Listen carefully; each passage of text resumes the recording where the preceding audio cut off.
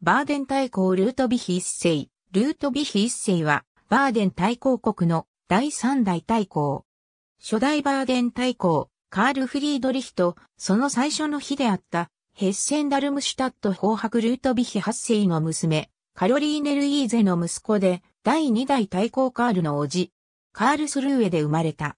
1818年12月8日に、老いのバーデン大公カールが死去し、彼の息子がすべて養成していたため対抗位についた。1820年に、ルートビヒ一世は、フライブルク大学に多額の寄付を行い、財政難で廃校の危機に陥っていた同校を救った。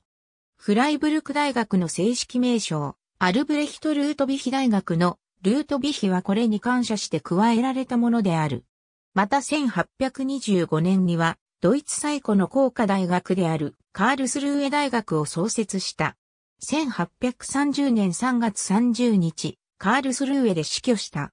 ルートビヒ一世には着手がおらず、他に同母兄弟もいなかったため、バーデン大公家は断絶の危機に直面していた。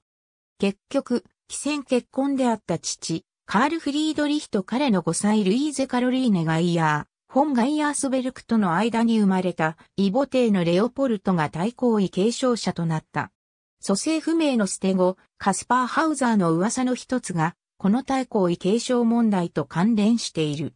それは、カスパー・ハウザーは誕生後すぐ死去したとされる、カールの息子であったというものである。ありがとうございます。